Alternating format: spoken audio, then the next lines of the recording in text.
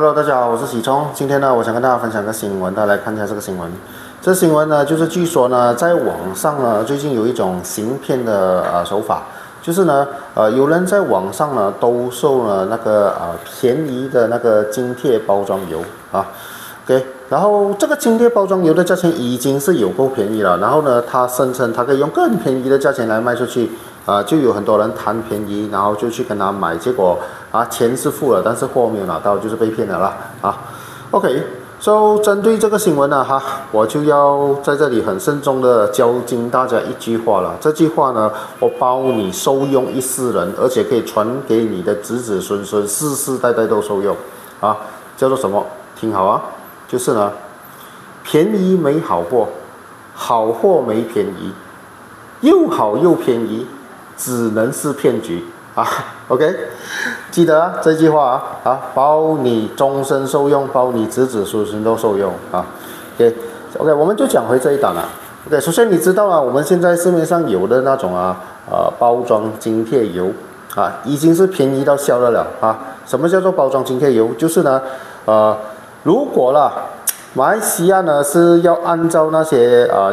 国际的市价了来卖那些食用油的话，其实是很贵的啊，就怕我们的老百姓呢啊承担不了。啊，所以呢，政府呢长期呢都有这个津贴这个食用油。啊，就是呢啊那种最小的包装一滴落包装啊那种食用油啊。啊，然后呢政府呢就跟那些厂商啊啊达成一个协议。啊，就是你每卖出一包这个油，本来原价应该要多少的，但是呢你卖便宜一点。啊，你那个差价政府贴，所以呢，在市场上每买到一包便宜油呢，都是政府贴了几块钱在里面，啊，所以在这种情况之下呢，这个厂商呢，他出的每一包油啊，政府都要 register 要注册，知道吗？啊，要记录下来，啊啊，你这个厂商今天出了多少包油，然后我政府就要贴你多少钱，啊，然后呢，这一些呃的津贴的包装油呢。啊，也要去呃发给那些零售商，也是没那个数量啊，也是要登记，也是要被确定我给了你多少包油啊，因为呢，怕这个油半路不知道跑去哪里了啊，被人家滥用什么之类的啊，因为呢，你要知道一个大原则就是呢。每一包油，政府都津贴了几块钱在里面啊！政府不可能放任啊！你这个津贴了的钱呢，就这样半路不见掉，所以你明白吗？啊！所以在这种情况之下，你觉得有可能有人可以拿到大量的这种包装津贴油放去网上卖吗？啊！基本上这一个呃是没有逻辑的啦！啊！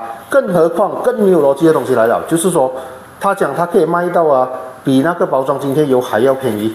啊，这个是最没有逻辑的事情，因为呢，你在市面上买到油已经是有够便宜，政府已经津贴了几块钱，然后呢，你可以卖比它更便宜，什么情况？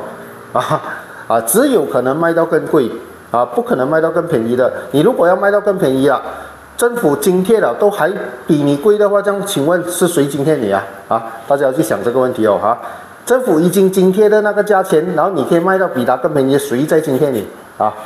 对，so。在这种情况之下了，啊，如果真的是有人网上兜售这个呃更便宜的津贴包装油了，只有两种可能性。第一种可能性就是纯粹是骗局，啊，就是啊骗你贪心贪便宜啊，给了钱拿不到货，啊，这是第一个可能啊。现在讲的这个新闻就是这第一个可能，第二个可能更加死，第二个可能呢就是妥妥的在卖赃物。啊，我们俗称的老鼠货啊，就是呢，啊，这个油呢来历不明，偷来的啊，然后呢，有人就偷走了这些油，然后呢，不可能把一个档口来卖了吗？啊，只能够偷偷摸摸暗地里卖吗？就通过网络不露脸的方式来卖啊。哎，这是赃物儿嘞，老鼠货儿嘞啊！你身为消费者，你去买的话，你也有罪啊，老板啊！不要告诉我不知者无罪嘞啊啊！所以啊，如果是第二种可能性的话，更加死。但是这个新闻已经确实了，是第一种，就是骗局啊啊，并不是这个赃物啊，赃物的可能性也很低啦。为什么？因为油不是很贵的东西啊，你冒这么大的风险，冒给警察抓风险，卖一个几块钱的东西，哪里有道理？没有道理吗？是不是啊？OK，好，说这个油的事情呢，我只能结论一句了哈，啊，当我们在网上看到卖便宜货的时候呢，我们就要时刻记起那一句话，啊，好货没便宜，便宜没好货，又好又便宜只能是骗局，啊，更何况呢，这个啊包装精贴油啊。他想他要卖到比这个市价更便宜，根本是没有逻辑的事情啊！哈，首先啊，这个流通于市场的数量都是固定的，不可能你无端端有一大批货给买了啊。然后第二就是呢，政府津贴的价钱都已经够低了，你怎样比它更低？谁津贴你啊？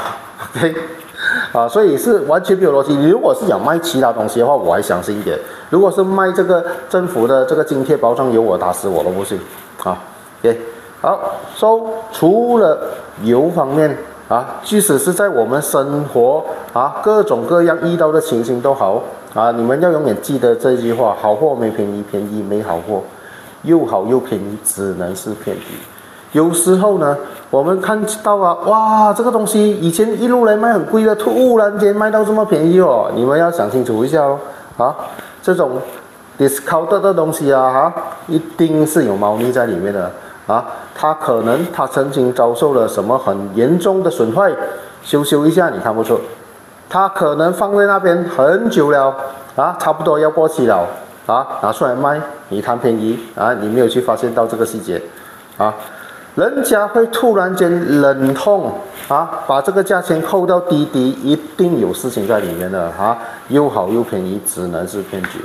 啊，没有人呢，啊，会心甘情愿把一个好好的东西呢，然后呢卖到便便宜宜给你，这是不可能的事情啊！所以大家请记得，又好又便宜，只能是骗局，不管是任何情况、任何东西都好啊。好，今天我就跟大家分享到此为止，谢谢大家，拜拜。